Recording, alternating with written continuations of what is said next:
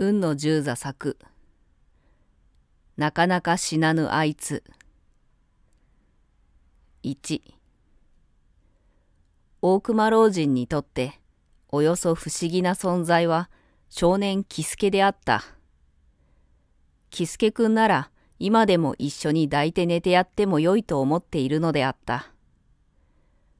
今年22歳になって大変大人びてきた喜助くんの方でも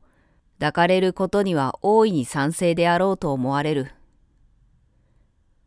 大熊老人といえば、あの人かと誰でもがすぐ思い出すほどのミリオネアであった。82歳になるというのに腰一つ曲がらず、さすがに頭髪だけは霜のように真っ白になってはいるが、肉付きは豊島女房を思わせるほど豊満で、いつも赤ら顔をテラテラさせているという恐るべき勢力老人であった。財産は5億円だとも言い、一説にはそれほどはないが、少なくとも1億円は超えているだろうと噂された。政党、ことにバツバツ党にとって、この老人は文字通りのドル箱であったからして、大臣になったことはないが、その巨大なる財力は常に至るところで物を言った。現にバツバツ内閣で法を挙げている大蔵大臣のごときは、実力において首相をしのぐと取り沙汰されているのも、実はといえば、この大熊老人が特に大蔵大臣の尻押しをしているからであった。大熊老人の鼻息の荒いもう一つの理由は、老人は30年この方、独身であり、その上老人には一人の子供も、無論孫もない、全くの孤独者であったことである。自然、老人はわがままにもなり、ヒステリーにもならざるを得なかった。老人には子供はないけれども、親戚は随分と多かった。彼らは常に老人の周囲に出没して、なんやかやと世話を焼きたがった。中には親戚というにはあまりに縁の遠いものまで混じっている始末であって、そういうものに限り、特に親切を老人に売り込みたがった。実際彼ら多くの親戚が、この気難し屋の感触持ちの動物的な汚れが染み込んでいるように見える老人の周囲に出没するのは、何も心からこの一人ぽっちの老人を慰めてやろうという意志から出たものではなく、なんとかこちらの親切を認めてもらって、遺産分配の比率を高くしてもらおうという魂胆から出発していることは明白であった。老人の気難しくなるのも、こうした一面から見て、無理のないことであった。大熊老人は今までに随分たくさんの人を世話したけれど、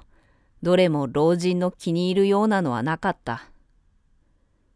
ただ一人、それはただ一人だけ、前に言った喜助だけが気に入りであった。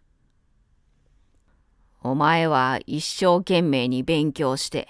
偉いものになるんだぞ。お金のことなんか考えずに、いいと信じたことをどんどんやってのけなさい。そうすると、お金なんか向こうの方から自然に飛び込んでくる。それには若いうちにうんと苦労するに限る。苦労を積まない人間はダメじゃ。人からもらう金は自分を堕落させるばかりじゃ。このわしはな、お前が大好きじゃから、ある程度の世話はしてやるが、わしの財産は一文も分けてはやらぬぞ。わしはお前に依頼心を起こしてもらいたくないのじゃ。お前をデクノボーにしたくないのじゃ。財産を一文も分けてやらぬ行為をよく胸に畳んで忘れてくれるでないぞや。老人は喜助に対して幾度となくこの訓戒を試みた。喜助は老人の行為を実質以上に高く高く感じて、その都度涙をほろほろ流して喜んだ。喜助はようにして両親を失い、叔父の家に引き取られて成長したのだったが、その叔父の旧作の家というのが、大熊老人のお屋敷へ出入りする花屋だった。その因縁から、喜助が大熊老人に知られるようになったのである。喜助が小学校を卒業すると、大熊老人は彼を薬学校に入れた。喜助の成績は老人の期待を裏切って上等とはゆかなかった。さりとて悪いというほどのところでもなかった。おそらくそれは喜助のお人よしに原因するところが多いのだろうと老人は自ら休んじたことであった。学校を出た喜助は老人の骨折りで理化学研究所へ入って無機化学実験室の助手を務めることになったのである。彼は小石川の御殿町にある大熊邸門前の花球の2階から毎朝テクテク歩いて20丁もある理化学研究所に通った。夜は毎晩のように老人のもとを唱い、彼がやっている研究の話や、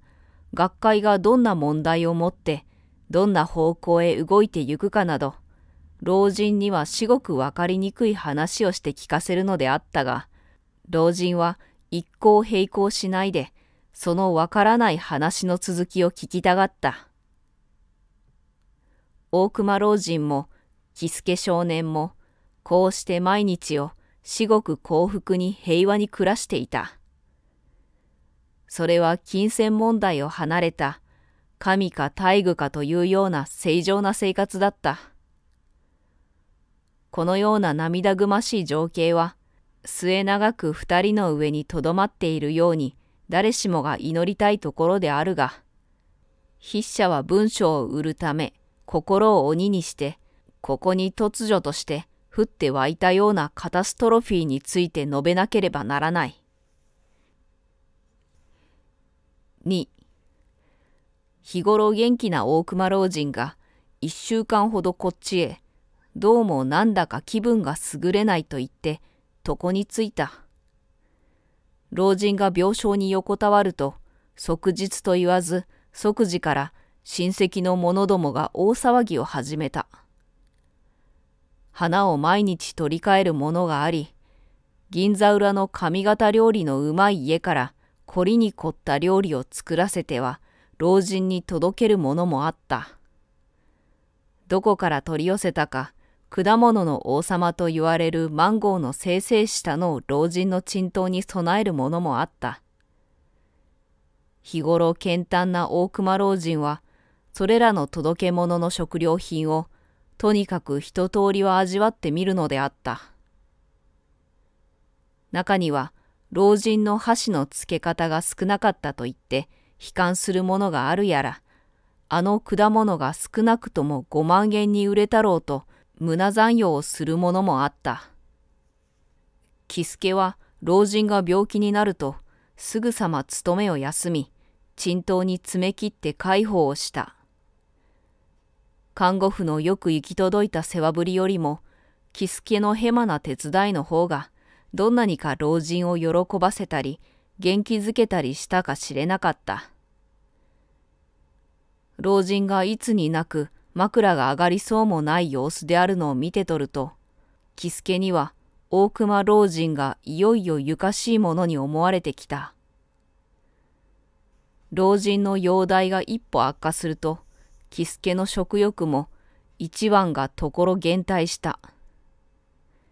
彼は科学者の教育を受けたに似ず、心の中で心当たりのある明神様だとか観音様などをそれからそれへといくつも並べ唱えては老人が全開に向かうことを祈った。しかしその効き目は少しも現れてくる模様がなかった。もしや老人がこのまま死んでしまうようなことがあれば、自分はどんなに寂しい身の上になることであろうか。それは帰るべきねぐらを失った小鳥よりも幾段か惨めであろうと思われる。小鳥にはどこかに友達があるが、彼にはおよそ力になってくれる人物など見当たらなかった。彼は恐怖に似た魔物が背後の真っ暗からじわじわと忍び寄ってくるその絹ずれの音をはっきり聞き分けることができるようになった。梅雨空に重い雲が渦をなして老人の病室近くに舞い降り、枕元に詰めている人々は、高校たる伝統の明るさに、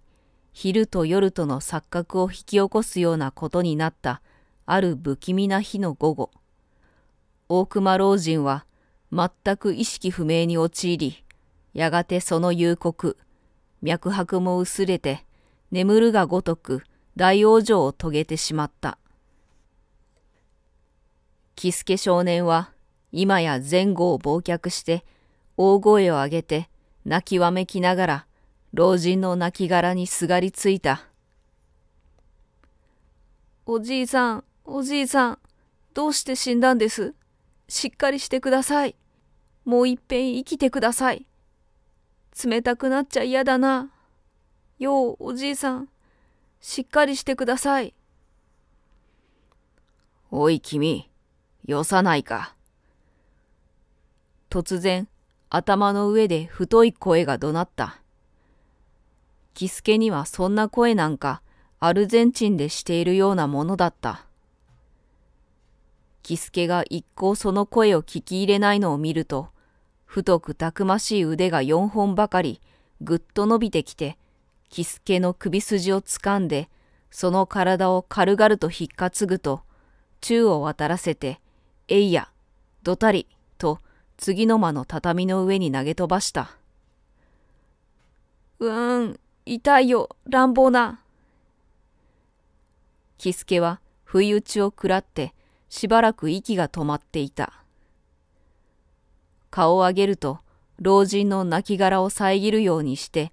一団の人々が刑務所の高塀のようにいかめしく立ち並んでいた。お前は何者だ？と、キスケの面前に調子の荒っぽい声が飛んだ。お前は大熊家にとって何者なんだよ？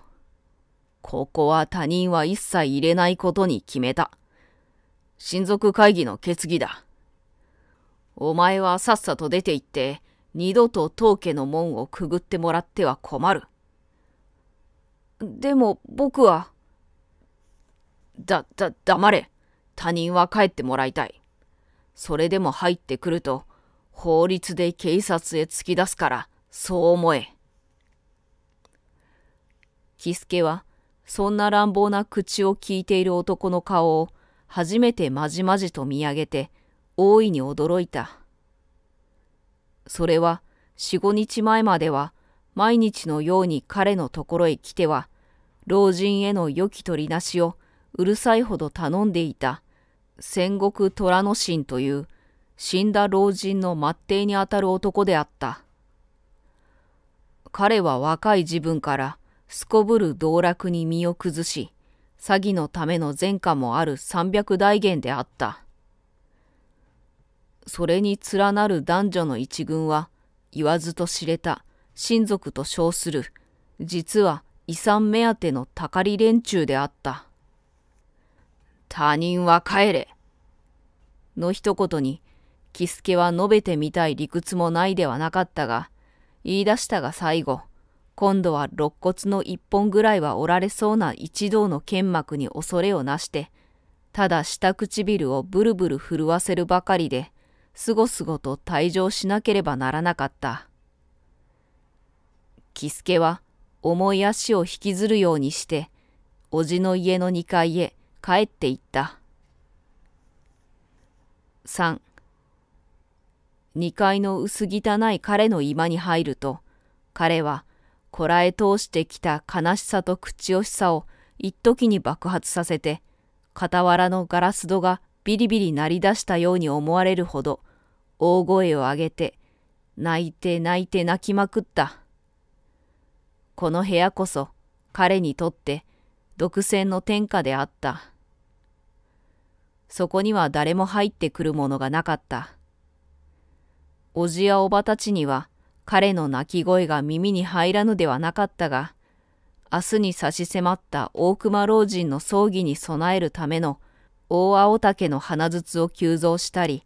山のように到着した榊や花を棚先に下ろしたり、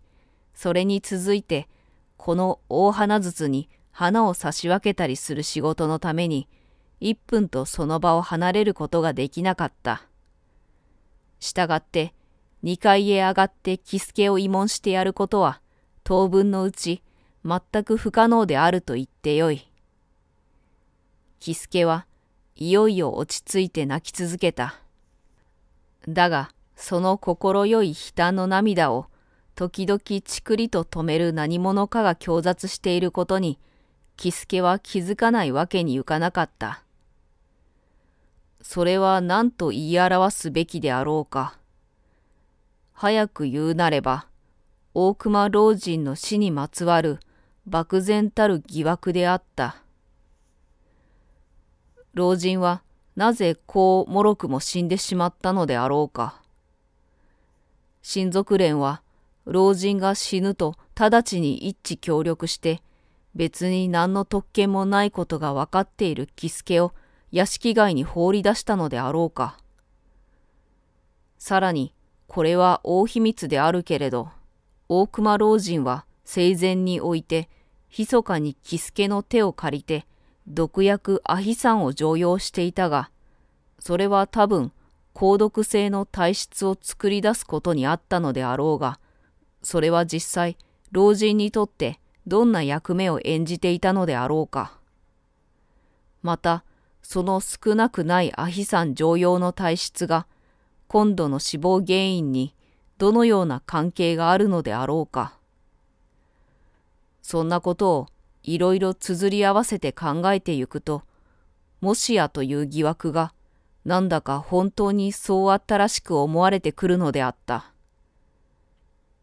親族連中が一致団結してことに当たっているのもおかしいと言えば言えないこともないし、死亡診断書を書いた N 博士だって何か動機があれば、インチキ証明書を書かぬとは言えないだろうし、そういえば、老人がこの度死病に取りつかれたのに、主治医として N 博士とその助手が二人ほど見に来たばかりで、百万長者の生命を治療するのには、大変貧弱すぎたと考えられる。わかった。彼ら一団の親戚たちは、一致協力して、あるまいことか、大熊老人の毒殺を企てて、それが不幸にも見事に成功してしまったのだ。きっとそうに違いない。自分をすぐに室外につまみ出したのも、単に喜助という少年を嫌ったのではなくて、実は自分が薬学についての専門家であることに恐怖を感じて排斥したものに相違ない。喜助は大きな鳴き声をいつの間にか優しい泣きじゃくりに変えてこんな想像を巡らしていたのであった。彼は大きくうなずくと突然さっそうと畳の上に立ち上がった。と思ったらすぐにペタンと元の薄汚れに汚れた座布団の上へ崩れるように座り込んでしまった。敵討ちをしても何になる。死んだおじいさんが生き返るわけじゃないし。喜助の心はどこまでも弱く、そして利口であった。死んだ老人を蘇らせる手のないのに、何をやってもダメであるに違いなかった。ことに彼は薬学家として毒物に対する肯定と尊敬とを持っていた。毒物にやられて呼吸中枢が止まり、循環器官が止まると、もう一切のものは破壊へ向かって展開するに決まっていると、原書で習った生理学の知識を思い浮かべて、アーメンと小さい声で言った。彼が探偵小説の読者でなかったことを深く遺憾としなければならない。その後に来るものは、無限地獄のような悲嘆と赤涼とであった。喜助には、もう何事を望む気持ちもなかった。誰を待つことも考えられなかった。後半が脱落している書物のその最後の一行を読み終わったような感じだった。そうなった上は、彼の行くべき道は、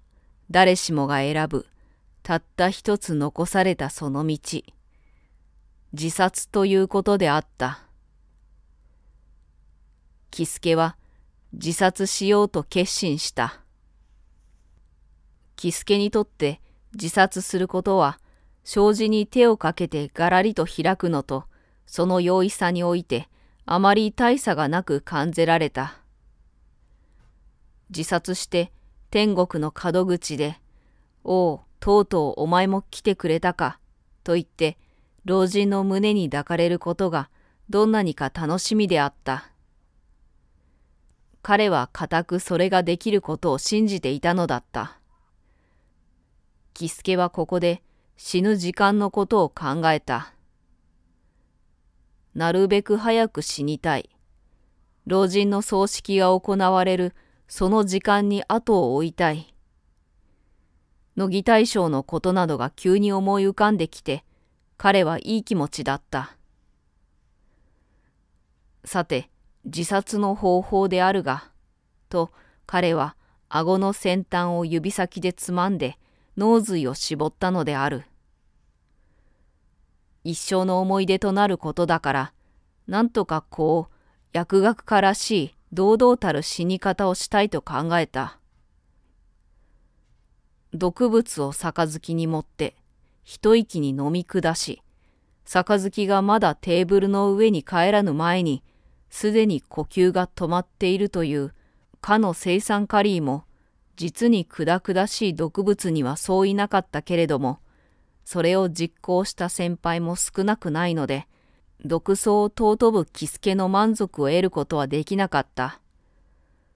それでは、独創ストロファンツスを使うのはどうであろうか。これは研究所の標本室にあるのを除いたことはあるが、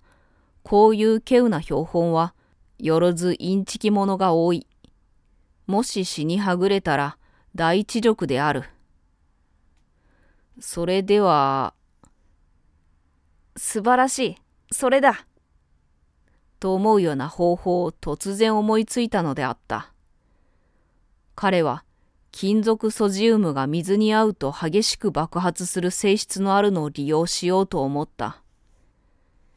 その金属ソジウムはなかなか高価な薬品なので、多量は手に入らないのが普通であるが、幸いにも研究所へは先頃 30kg ほど納入され、ただいま彼のもとで試験をすることになっているから、これを持ち出して使えばよい。彼はその金属ソジウムを一度に爆発させるため、別に溜めておいた水を一時にザブリとかけようと思った。しかもすぐ爆発するのは困るから、ある一定時間すると、自然に水槽の底が外れて、ザブリと金属ソジウムにかかるようにしたい。それには砂時計の砂を水に変えたような仕掛けにし、水が少しずつ上部の容器から下部の容器に落ちて溜まってくる。すると、この下部の容器を水洗便所の水槽のようにし、ある水量の水が溜まったところで底が外れるようにし、さらにその下の第三層にいっぱい詰め込んである金属ソジウムの箱に、この水が一度にかかるようにすればよい。それに、これは全く奇想天外の明暗だと思うが、この一切の装置をお葬式に使う鼻筒の中に仕掛けるのだ。どうせ明日は、おじの一家は総出でお葬式の手伝いに出かけてゆくだろうから、自分一人が留守番に残ることになろう。その時、榊の鼻筒の一個を特別に残しておいてもらって、これぐらいの頼みなら、おじおばはたやすく叶えてくれるに決まっている。いけないと言えば、金を出して買い取ることにしてもよいではないか。これを体のそばに立てておき、ちょうど良い時間に爆発させる。少し心配になるのは、その爆発の力であるが、無論自分を殺すのには十分であろうが、炸裂力は必要以上に激しくて、ひょっとすると、この花球の店を粉みじんに吹き飛ばしてしまうかもしれない。これはおじおばに対して申し訳のないことである。だがまあいいや、大したことはあるまい。喜助は目に見えて急に元気づいてきたのであった。4花球の店には静かに黄昏の淡い光が漂っていた。その薄暗い土間のうちは広々ときれいに片付けられてあったが、その中央とおぼしきあたりに一台の大きな花筒が立っていた。そしてその花筒のすぐ後ろに小さい台を据えて、喜助がちょこんと腰を下ろしていた。こちらから見ると、喜助は何かしきりに耳を傾けて物音を聞いているらしい様子であった。ぽとりとも何とも音はしなかった。喜助は、はあ、とため息をついた。しかし、また耳を筒の方へ近づけた。今度は何かかすかな物音が聞こえるらしい。喜助はごくりと唾を飲み込んだ。そうしたら、今までしていたと思った物音がぱったりしなくなった。耳の加減らしい。喜助はさらにまた大きく、はあ、とため息をついた。太い青竹でこしらえた鼻筒の表面に目を近づけて丁寧に調べてみた。もう金属ソジウムが水分を引いて発熱し、竹筒の青い色が少し変わってきてはいないかと思ったのであるが、別にまだ異常は認められなかった。喜助は、この爆発装置の設計に欠点があったのに気がついた。なぜもっと大きいこぼれ穴を作っておいて、筒の外からこう耳を近づけると、ぽとりぽとりと上武道から下武道へ水の落ちてゆく音がよく聞こえるように作らなかったのであるか。このように穴が小さくては、爆発の刹那まで水滴の落ちる音はしないかもしれない。それでは唐突に爆発することになる。これは気が気でないぞ。と考えると、背筋が急に冷たくなって、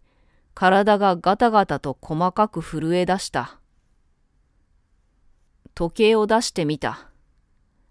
予定の爆発時間まではもうあと5分しかない。だが5分間あると思って落ち着いているということは許されないのだ。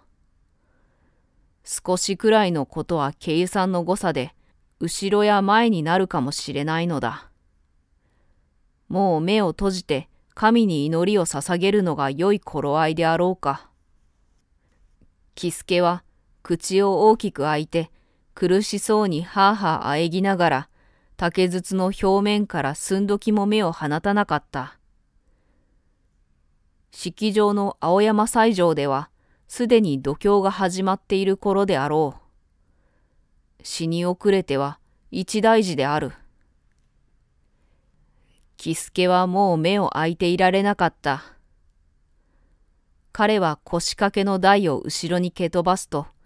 矢庭に大阪木の鼻筒にしっかり抱きついた。彼はハーハーと息を切り、額から油汗をたらたらと流した。彼は賛美歌を声もなく歌っていた。しかし、どうしたわけか、喜助の注文通りになかなか爆発は起こらなかった。最初に算出した帝国を5分10分と過ぎていったが、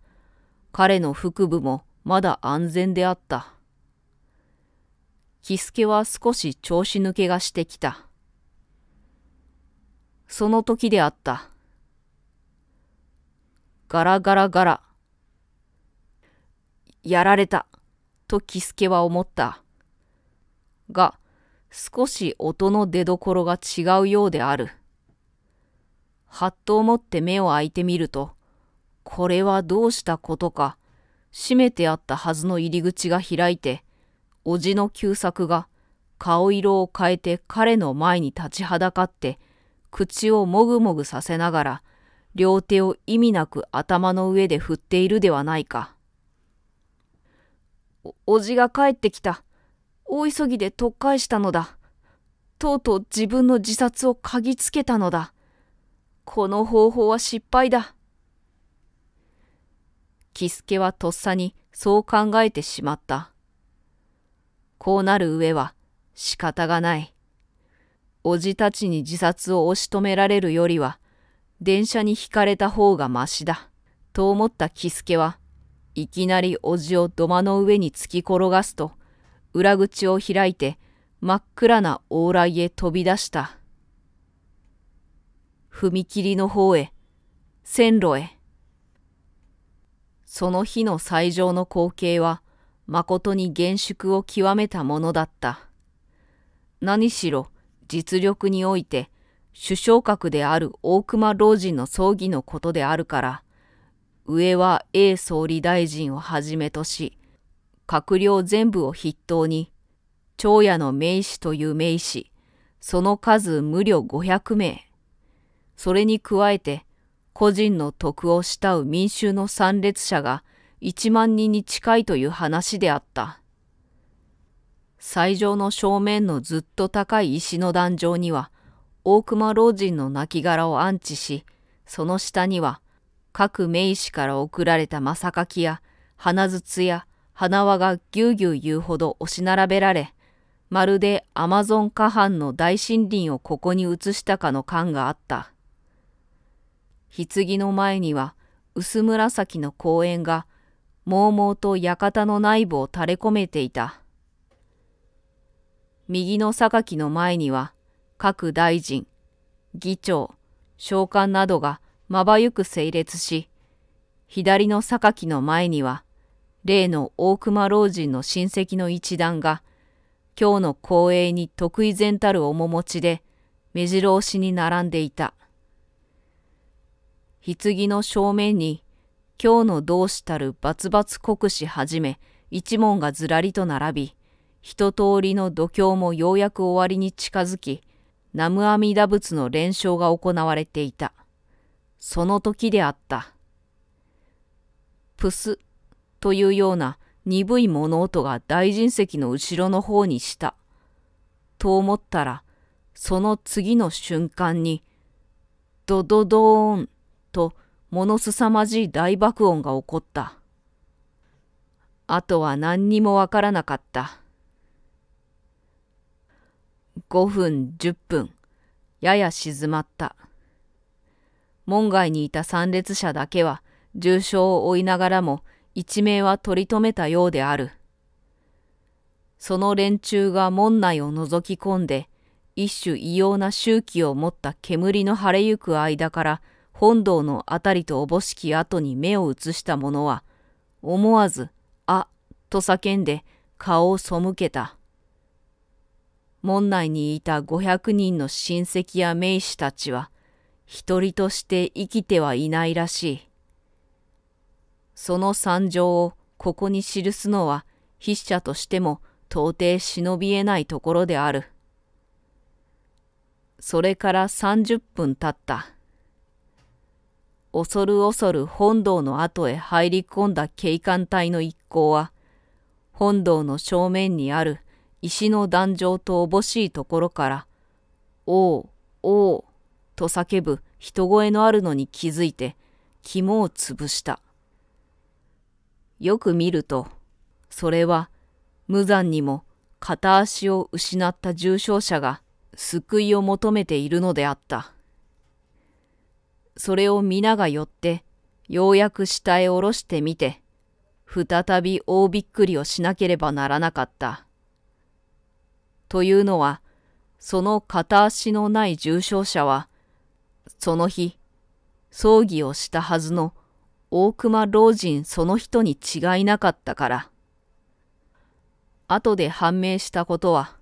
大熊老人は毒殺されたが、平常の購読方法がうまく効いて、棺の中にいるうち、だんだん回復してきた。ところへ、あの大爆発が起こって、体の大部分は石段の影になっていたので、かすり傷も受けず、ただ足だけは爆発ガスのため吹き飛ばされ、その一本を失った。足が一本ちぎれた疼痛が、はっきり老人を蘇生へ導いてくれたのであった。老人の死を計画した親戚一同は、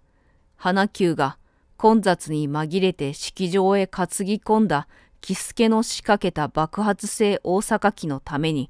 一致協力してメイドへ旅立ち、皮肉にも大熊老人一人が生き残った。木助はどうなったか。